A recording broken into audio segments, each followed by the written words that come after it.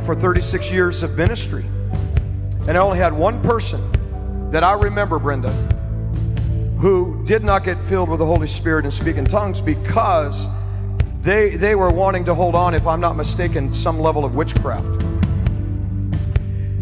And so here's the thing you have to learn how to yield to it. Okay, I always tell people, you know, you don't talk with your mouth closed, right? You don't speak in tongues with your mouth closed. There's people, you say to them now, be filled with the Holy Spirit. So, because we live in America, I never have to do that when I go overseas. I just say, be filled with the Holy Spirit. And hundreds and thousands of people just begin to, it's beautiful. In America, you got to kind of explain it. The first thing you got to do is you got to have a relationship with Jesus Christ. You have to ask Jesus in your heart. And I know you're watching, you say, but I've done that, all right? Next thing you need to do is ask the Holy Spirit to fill you. Well, I've done that. Nothing's happened. Listen, it's not that hard. The Holy Spirit gives you the utterance. So if you're saved and you ask the Holy Spirit to fill you, then what you need to do is just start going.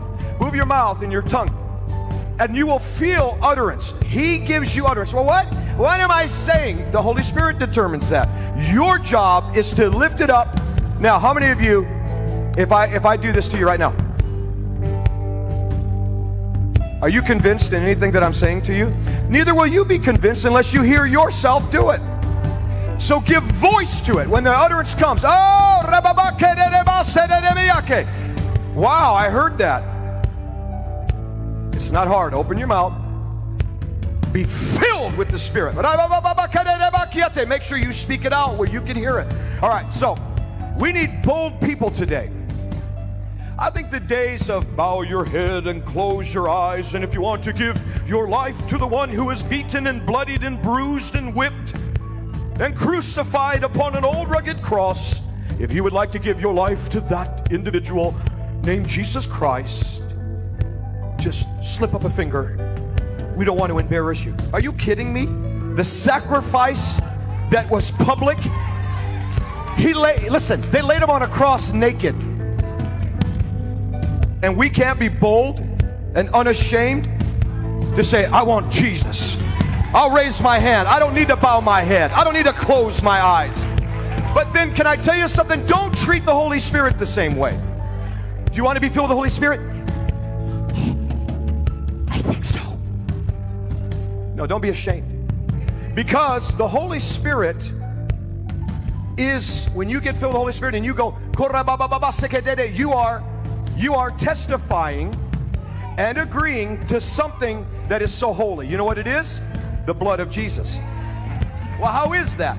Because in the Old Testament, before Jesus' sacrifice as the Lamb of God, when you would sacrifice a lamb or you would sacrifice a bullock unto God, and He would approve of that blood of that bullock or lamb, how did you know? He would send fire. What happened after the Lamb? Jesus Christ shed his blood.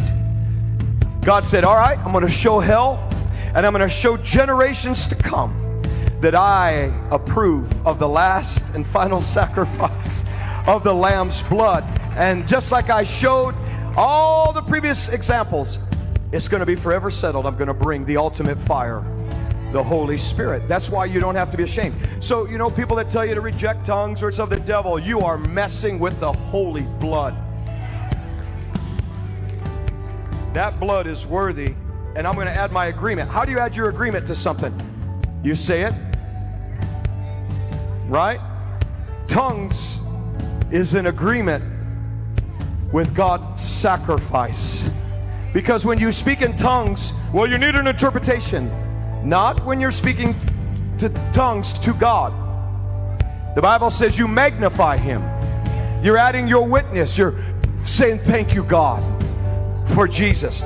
But now, if God has a message that He wants to speak to a congregation or an individual in tongues and interpretation, if I call you out and begin to speak in tongues, then guess what?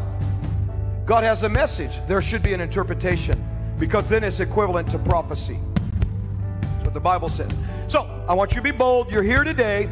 You're not filled with the Holy Spirit. or you've struggled with it, I want you, I'm not even going to tell you to raise your hand. I'm going to ask you to get your feet moving and come right up here in the front and let's go. All right, let's go. Let's go. Come on, let's go. I would like for Pastor Doug and Eileen and the altar team, I would like for the Sawinskis, if they would come on up. You guys are trained. I was just with Joan Hunter. Amen. They've been through her ministry. Thank God. She's powerful. I love her. They're very qualified, trained. Come on up. Pastor Doug, as members, we need to make sure that they, God has handed that out. So maybe some about Thanksgiving or something. It'll be fun, and we'll have a great time Wednesday night. Also, Tuesday night, I'll be on with uh, the four of us Pastor Gene Bailey, Mario Murillo, Lance Wallnau, and then us. Our ministry will be there. And then they asked if I would do a special Thanksgiving, and I and I said sure. So Michele Bachmann uh, will be there as well as Dutch Sheets, and we'll do a special Thanksgiving, and so that'll be really really cool. So we'll have a good time. It's going to be a great week.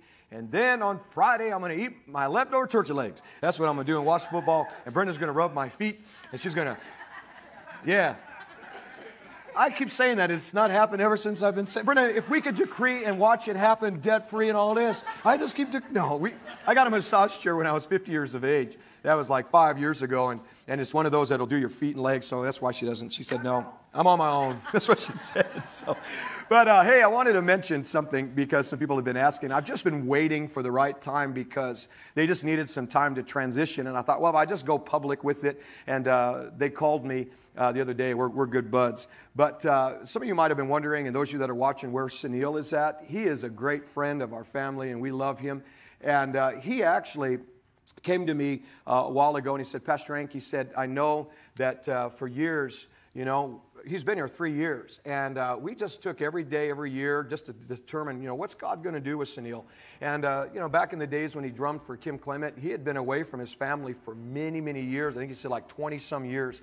And he and his wife and, and um, family just felt like, you know what, that they needed to, you know, uh, be closer to their family now. That that's what God was calling him to do. And he met with me, and I said, you know, Sunil, I'm in agreement with you, and uh, I thank God for the years that we could share together. And the good thing is, he's still going to be connected. He'll be up here playing drums for us uh, and doing different things. And uh, he has a tremendous gift that you will probably continue to see being used.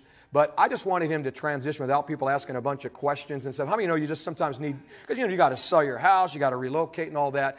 And so we want God's continual blessing upon you, Sunil. So that's where he's at. And please, um, some of you, you know, when you write online, where's Sunil? Is he okay? He is. He's doing great. And really, you can go to his social media page. I'm not even sure if he has one, and he can tell you how great he's doing. But everything is okay. And, uh, you know, people wonder. But uh, we love him. Don't you appreciate what God did? So we're, we're blessed by that. All right, let's go to our Bibles to Mark chapter 10. And I want to talk today about uh, something that I feel like is extremely important, important. And it was really amazing to me. And I want to say this because have you ever thought for a moment about Jesus? And those of you that are watching, I want you to hear me very carefully. Why did Jesus have to say in the New Testament over 15 times he said the same thing. Are you ready for what it is? Those who have ears to hear. Now, everybody he was talking to had ears. But why was he saying that? Because he was saying it not because he was ignorant in the fact that the people he was talking to had ears. The problem is people tend to hear this way, and he was trying to get them to hear in their heart or their spirit.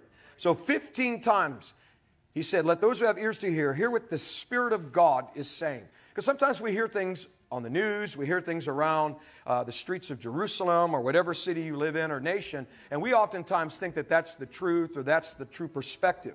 Yet God has a perspective that He wants to share. And many times it's, it's opposite of the culture or things that are happening. That's how many times you, when, when things are going on in the world, you find what God's perspective or what His will is. A lot of times it doesn't go with the flow. That's why I sent prophets many times, and they would get, you know, they would get, you know, killed, stoned. Uh, they threw rocks at them because they would bring a contrary word to what was happening in the culture and what uh, the devil was wanting people to believe. And so, have you ever thought about this also with Jesus? He was not always nice. Now, you say he wasn't. nice is when, when people say, well, we as Christians need to be nice. You're not to be rude and obnoxious. But nice, if a person is nice in their viewpoints regarding the Bible, or nice with what's going on in the culture, or nice if you approach things that way with a political perspective, niceness is always connected to ultimately you won't do anything because you're nice. You don't want to offend anybody, you don't want to hurt anybody. And niceness is not listed in the fruit of the Spirit. Kindness is. But you can speak the word of truth in love and in kindness without being prideful, arrogant, rude, obnoxious. And Jesus, in his kindness, was very bold. He would literally stand up and say to the religious community, which would be the evangelical church today, he wasn't so much that way when he would minister to the sinner, except he was very direct. Oh, but the woman who was caught in the midst of adultery, don't you remember? Pastor was so beautiful with her. He, he, he wrote in the sand and he, and he said, Where are your condemners? Yeah, but he also looked at her in the eyes and said, Don't you dare sin no more. He also, when he would cast out a demon, say, All right, you're delivered. Now don't keep doing this. Okay, that's not nice. That's called being direct and confrontive. Now, when Jesus would, we see that today. And Jesus confronted it. He didn't stay, stay quiet. Now, I'm going to teach you something before I get into my message because we all want to be like Jesus. Now, here's the thing we have to also understand. Why would Jesus, if everything he said was received, he was very bold, or they would have never confronted him.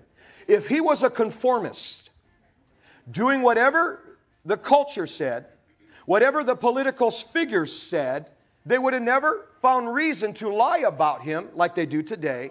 They would have never found reason to threaten him like they do today. They crucified him because they didn't like what was coming out of his mouth. Yes or no? This is Jesus. I'm trying to wake up the church today because we become passive and nice. Keep your kindness, keep your love, but speak the truth. But here's the thing have you ever wondered why did Jesus say out of his mouth, Blessed are those who will not be offended in me. Well, Jesus, you're so nice. You healed the sick. You tell a woman caught in the midst of adultery, Where's your condemner? Sin no more. Why would he say, Blessed are those that are not offended in me? Because he offended people. Are you here? This is the Jesus of your Bible. The problem is, we aren't reading our Bibles anymore. We don't even bring them to church anymore. And yet there's people in other countries that would love to have just one Bible. They barely have a page. And we need to start bringing our Bibles to church. Make a statement to yourself. Make a statement to a government right now that's in charge that want to take your religious liberties away. And if they had the opportunity to, they'd probably take your Bibles away. And they, they've already tried to shut down your churches. What's their agenda next? So you have to understand, Jesus said, Blessed are those that are not offended in me. Well, why? Because he offended. Now, let's, let's break out something else. So Jesus mentions something very powerful that I want to draw attention to a Bible, Bible figure if you're still struggling, if Jesus was nice. Again, nice is with compliance, nice is with also a lack of boldness. You're, you're not going to say anything because you just want to be nice. Jesus, think about this. He said there was no greater prophet in the Bible than John the Baptist. Yet John did not come with any miracles. So he was not a miracle ministry. John the Baptist, would you say John the Baptist would be labeled as the nice prophet? No. He was a confronter. Right? Yes or no?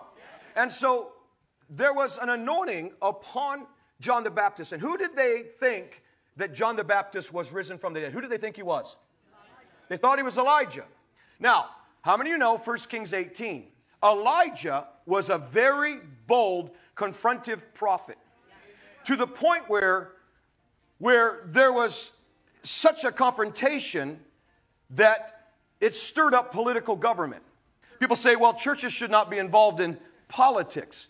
But yet you read in your Bible that God would send prophets and people to speak to governmental leaders. Even Jesus told the people, You go tell Herod, who was a political figure, he didn't say Herod, he goes, You tell Herod that fox. Now, there are some theologians that have been arguing back and forth that that word fox, you can't translate it like sly, cunning. It doesn't mean that.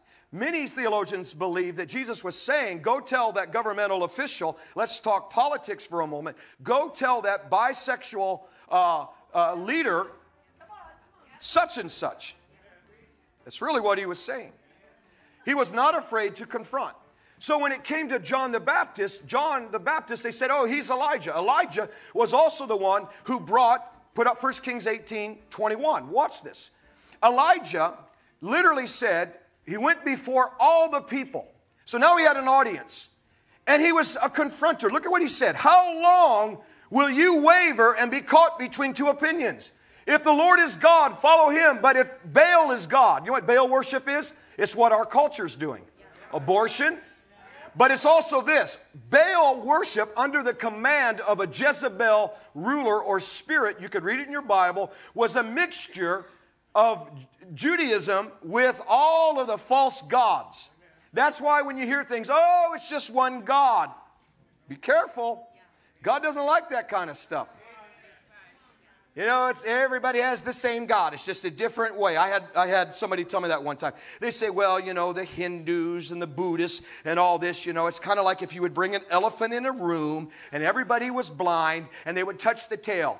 And they'd say, well, what does this elephant look like? Well, it looks like this. Well, and then they grab the trunk. Well, it looks like this. Same way with God. Different viewpoints, different religions, same elephant, same God. And I stopped the person. I said, whoa, whoa, whoa, whoa. You said everybody in the room was blind, right? She said, Yes. I said, Well, I once was blind, but now I see. I know the true God. And he ain't the God of the Hindus and Buddhists. It's not the same God.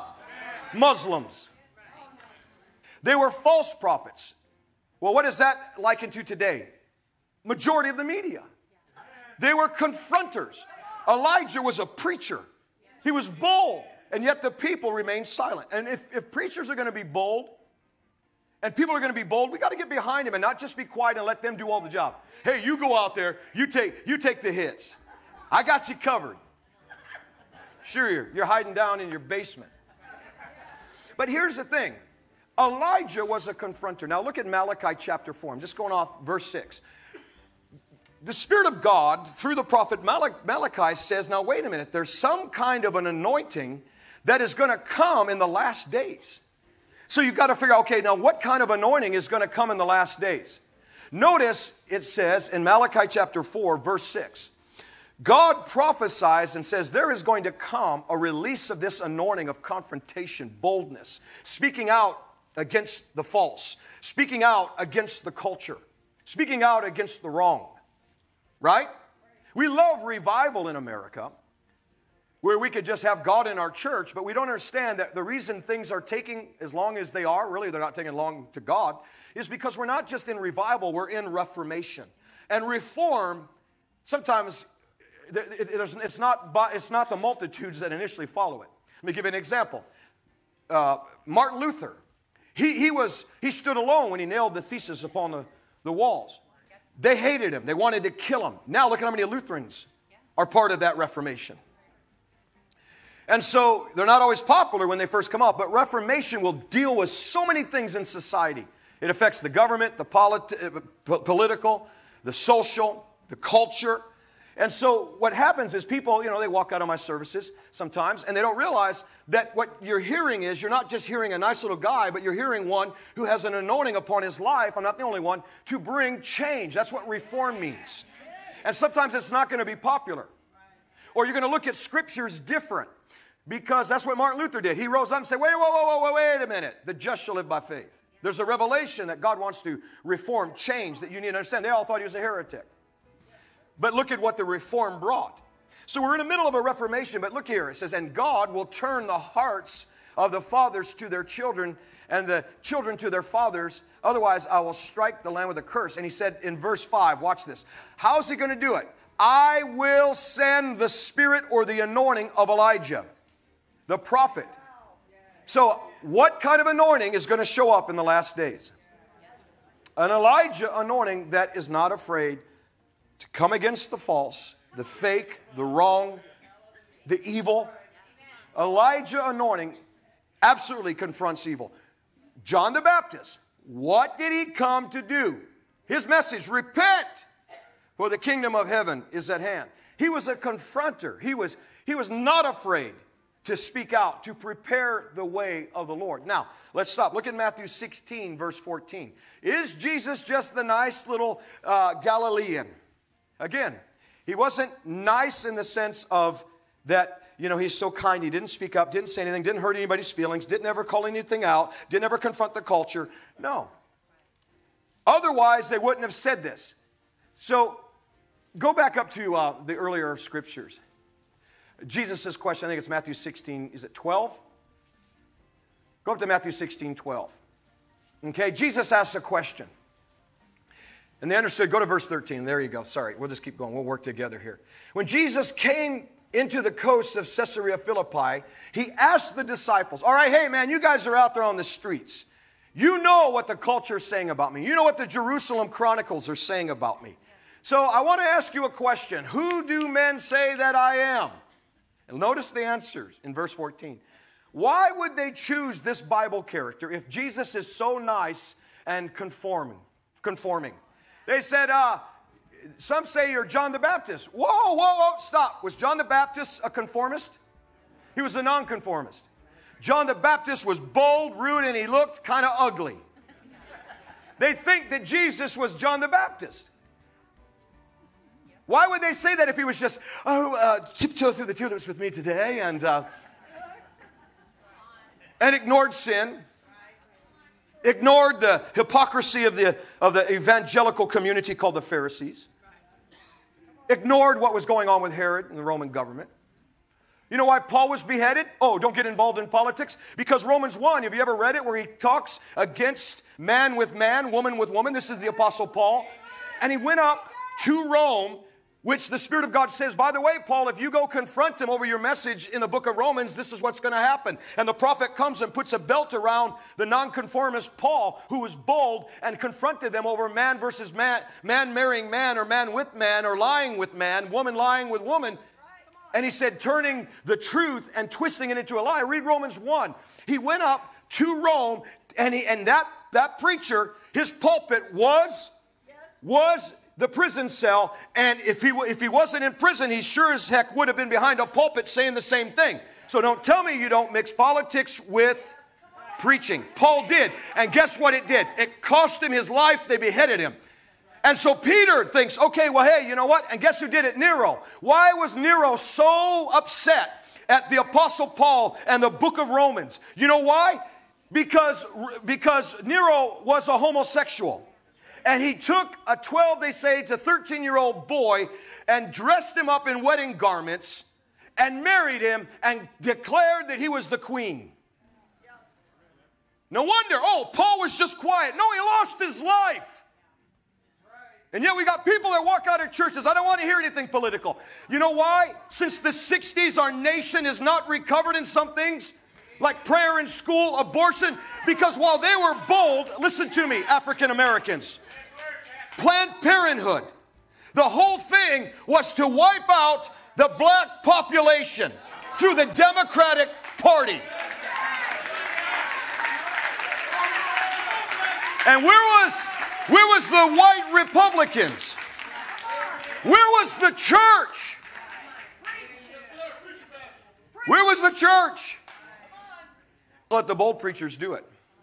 But Jesus, notice what else they say. They say, hey man, some say, put it up. You're John the Baptist.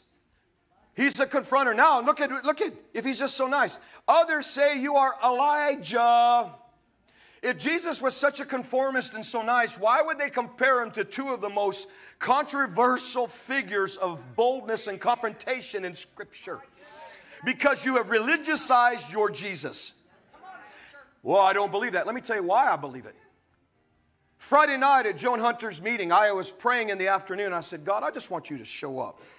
I just want you to, to do something because I sense you're going to have me say some bold things.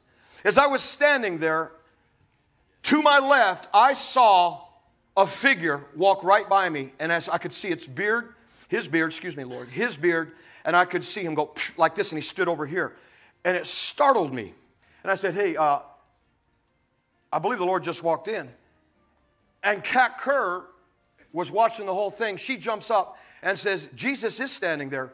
Well, what do you do? I got on my knees, and the whole, practically the whole con- uh, conference, they got on their knees. You could feel Jesus in the room. And I didn't know what to do because, you know, Jesus is standing there. He's in charge, not me. And so I said, Lord, we worship you.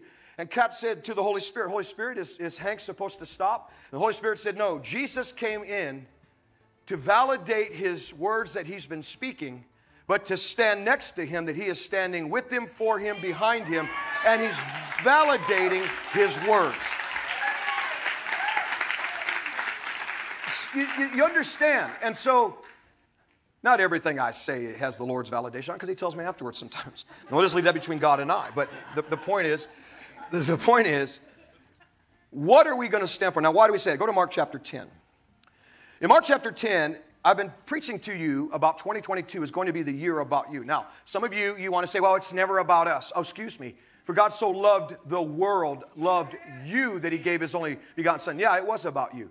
In fact, it was so much about you that before the foundations of the earth, before God ever came down and took that little muddy piece of clay uh, uh, in a form of a human figure uh, called Adam, he was, he was a mud man. And, and, and, and, and God himself would breathe into Adam, that clay uh, figure, out of the earth's soil. Before he would ever breathe breath or life into him, Jesus already determined, all right, well, once you breathe into him, he's going to sin. I will go and I will die. Oh, so it wasn't really about you? Now, ultimately we know Matthew 6:33. Seek first the kingdom of God and his righteousness and all other things will be added. You got to have your priorities. God is always number 1. But God is saying because of the harshness of what we have been through as a people that he is absolutely wanting to make this next year about us. He is wanting to bless you because of the harshness. That's exactly what he's saying. Now, there's some things that we've got to look at. And he gave me a scriptural example because I said, Lord, give me some out of the word that would let people know. And he gave me a question. Notice the question that Jesus, in verse 51, Jesus said to a man named blind Bartimaeus, He said, Jesus said, What do you want me to do for you? Notice, if you want something from God, you better include the me, which is God. Better include the I. You better include Him. Make Him a part of your life. Make Him the focus. Well, I want to be married. Well, make sure that your focus is I want a godly husband, I want a godly wife. Okay, I'm not going to settle for anybody else. Right? I want to include you. God, I want your choice, not mine. So you have to understand that it's not just about, well, hey, you know, I want a new TV set and, uh, you know, well, Lord, I want a new TV set so that I can watch Christian programming and I won't use my TV set for evil. I want a new car. Well, Lord, you know what? I want a car where I can glorify you. And you don't have to put a Jesus glow in the dark bumper sticker on it. I recommend the way most of us drive, let's not bring that kind of bad testimony to, to the Lord. Just keep your bumper sticker off. But you could say, Lord, I want a new car because I want to be able to show people that when you're a tither, when you're a giver, that God, you bless. You bless in the middle of, of, a, of a crazy economy. You know, and I'll tell people, Lord, if they say, man, nice car, I'll be like, hey, God gave this to me. When I'm getting gas, I'll be like, hey, the Lord gave this to me. Okay. so you, you include God. But, but watch this. I want to read to you about blind Bartimaeus because there were some things that he did that is important for us as we come to the question that God is asking What do you want me to do for you in 2022? I recognize y'all been through some stuff. How many been through some stuff since 2020? 2021. Can I get, okay, huh? Yeah, see your hands? But look here, let's read the story. Verse 46 They came to Jericho. And later, as he was leaving Jericho with his disciples, notice what kind of crowd. It was a large crowd. A beggar who was named blind Bartimaeus. Now, if you read this story in Matthew 20, you'll see that there were two beggars, two blind men, but Mark only mentions one. You'll also see in Matthew 20 that the story lists out that the uh, mother of James and John comes and asks Jesus for her sons to sit at the right hand. You know, it's kind of like this. It's not that it's a contradiction, it's just, you know, uh, Mark is leaving out some details that Matthew decided to include in his, uh, his story.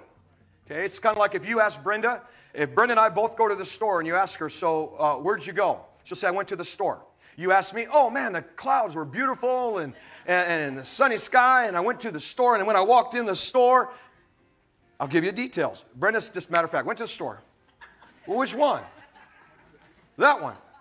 Not me, man. I went to the store named this, and you know, when I was walking in, I could watch a person that had a demon, and, and you know, that's just me. That's the way it is sometimes when you're looking at the Gospels. But notice there was a blind man named Bartimaeus. Now, this was a blind man, but you know what? You don't have to stay blind. He was a blind man. Now, let me tell you why I'm saying this to you. There are people, you know, they quote Matthew 24 many times, and they, and they quote about, you know, these are end time scriptures. There'll be wars, rumors of wars, uh, earthquakes in various places. And, but they don't realize that Jesus said three times, let no man deceive you. So there's this deception that I have seen come on this culture. It's why we need an Elijah type anointing because it's a confrontive anointing against what's trying to deceive the people or blind the people. So it's for your benefit that God releases that kind of anointing. And so what happens is blindness of ignorance has come among many people. He lit up, you know, but the one with the mask was like, and my heart broke. Because, again, that's her choice. But I'm like, lady, are, are you resolved? Why, why someone told you? Why are you basing it on someone told you? You know, that's exactly what God said when Adam and Eve ate of the tree. They were talking to a snake. And God said, Who told you you were naked? Because they've been talking to the wrong thing. So you got to make sure the source of whatever's telling you not to get the jab, if they're telling you, is correct. If they're telling you to get the jab, make sure that the source is speaking correctly and it's not an evil plot or plan. The next one comes up and she says, Well, what are you here for? Bless them. You know, that, we're never going to take America with them anyway. Okay, I, I want a bloodless revolution. But you're never going to get it with people who can't even listen to the rest and, and reason in truth. I never said they shouldn't get it. Why are they walking out? Well, they have to go to the bathroom. All right, well, bless them then. But here's the thing it's so amazing how touchy we are. And yet, here's what is scary to me we are literally, the issue is, I guess they told me. Don't you ever consider your own rights? Don't you ever consider, is my freedom and my constitutional right being affected here? And why are you mandating something so much for me and pushing it so hard when it hasn't been proven? And people are getting the very thing you're supposed to be protecting them from. And I don't have a right to resolve and take my time to figure it out, pray about it? No, you want to fire me.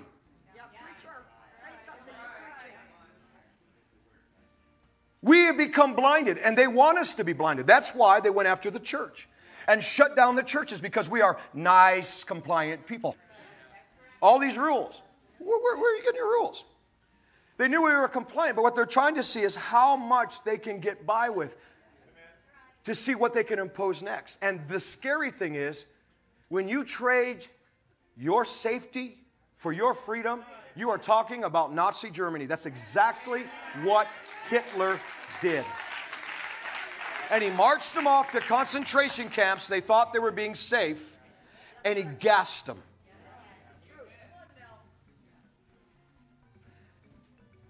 Our officers, our military, thank God that it's not about their safety over your freedom or their own.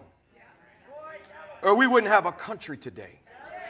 That's why, as a preacher, I'm not here to try to preach safe little things. Now, not every time we assemble are you going to hear a message like this. There, there is a balance. But can I tell you something? What do you do when we've been so out of balance that you think I'm out of balance?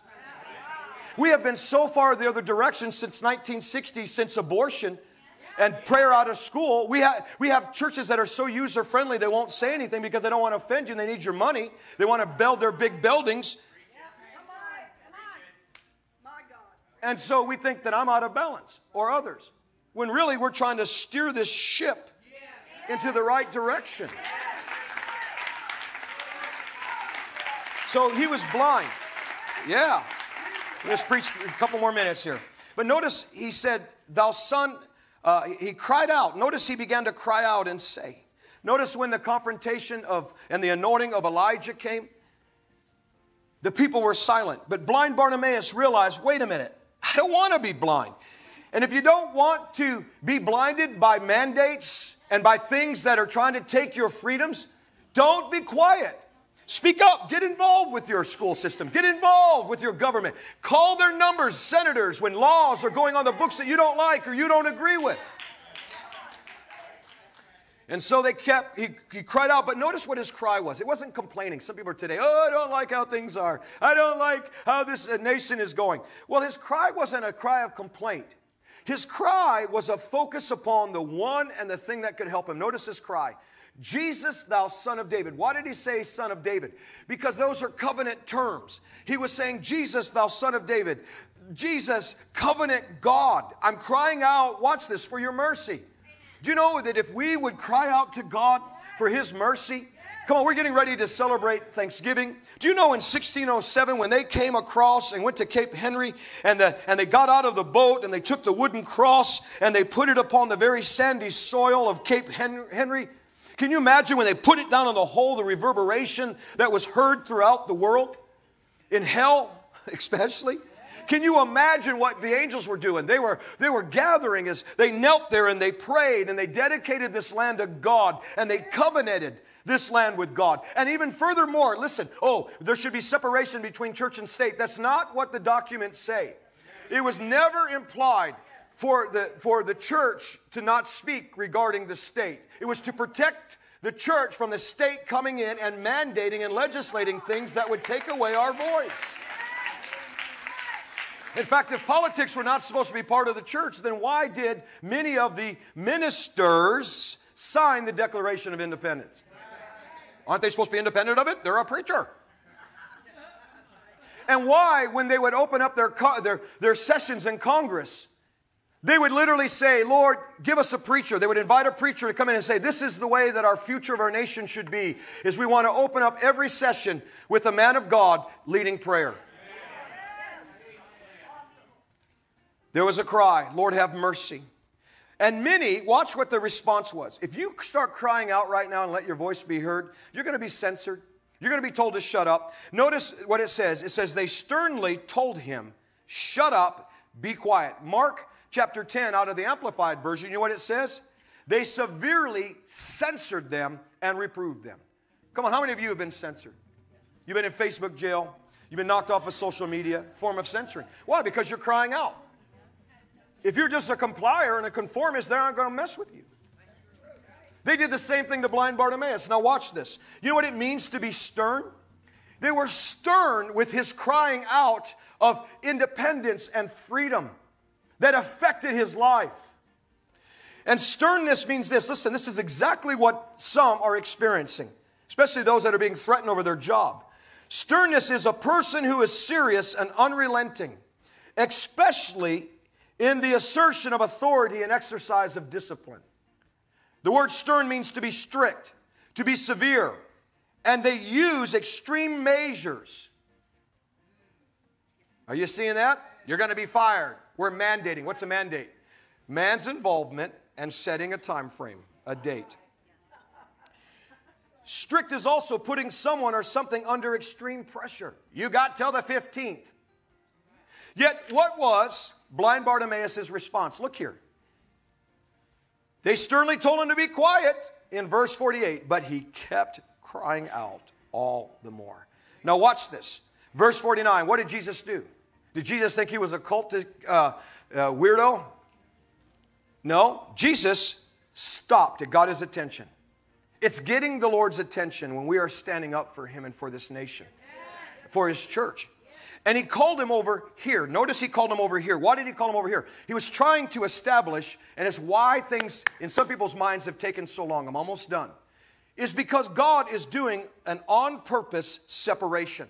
He called him over here. In other words, come over here. There was a separation from there to here. And Moses had to do the same thing in the book of Exodus. God told him, Moses, gather the people and say who is on the Lord's side. We are being tested right now, like in Judges chapter 7. How many remember the story of Gideon? There was a, a, an army that was as numerous as the sand on the seashore on the horizon. They knew they were outnumbered. And yet God said a ridiculous thing. He said, Get me, get me soldiers. And there was 32,000 that showed up for the battle. But all of a sudden, once they saw the enemy, they didn't care about their nation anymore. They with fear, 22,000 of them out of the 32,000, because of fear, did not stand for their nation, did not stand for their families, did not stand for their God, and they represent some today that rode off in fear. Oh, we just don't want to speak up. We don't want to do anything. Let it be somebody else's problem. Let the other soldiers take care of it. And they rode off and left the battle for the nation, for God and for the people to somebody else. That's why there's preachers today, you still haven't opened your churches. That's why preachers, you won't even talk about things behind your pulpit. You're part of the 22,000 that's wrote off. And, and, and you, don't, you, you don't empower your people, and yet they're getting beat up every week by the culture, by their jobs. 10,000 remained. But out of that 10,000, 9,700, they weren't afraid. Here's the problem. Some people aren't afraid today. Here's the problem. God said, All right, separate them at the water, and whoever brings the water up to their mouth and laps like a dog, those are the ones I'm going to choose. Out of 10,000, only 300 fit the bill of separation because the 9,700 are doing exactly what a lot of evangelicals are doing. Yeah, you're not afraid. Oh, I'll speak up for my nation. Yeah, but you got, you got, you're distracted. They stuck their face in the water and they began to lap up the blessings. And a lot of people, that's all church experience is, is, oh, I just want to come for me. I have a problem. I have a need. I need healing. Well, that's, that's legitimate stuff. But you got to be like the 300 who recognize, yeah, you have a personal need. They still drank of the same water. The difference is they didn't take their eyes off of the enemy who was trying to attack and destroy their nation. And that's why they went like this Hey, I have needs. Hey, I'm going to church, but man, I want to be part of the fight. And they were chosen. So let's go on. We're almost done. Can they come to the piano? Now, notice what they told him. They didn't say coward. They said, Blind Bartimaeus, take courage. Stand up. The Lord is calling. And notice what he did. He threw off, blind Bartimaeus threw off his garment. Now, do you know that that was a beggar garment that identified you as unclean? It identified you as a beggar unclean. Do you know that was not imposed by God? It was imposed by the authorities. It was in, these guys have things to do. That's why they're walking out because they want me to get done. But but here's the thing. Listen, can I just have just a couple minutes, please? Because I wasn't here last week, and I want to I want to just do this. This garment, we liken it to him as a garment that identified him as unclean, identified him as, hey, if you get around him, you know, this guy's blind, he's got a problem. Okay, today they're putting masks over people's faces. That's not imposed by God, it's being imposed upon us by authorities by the culture. But notice a man who wanted to see said, Man, I got to get this mask off of me.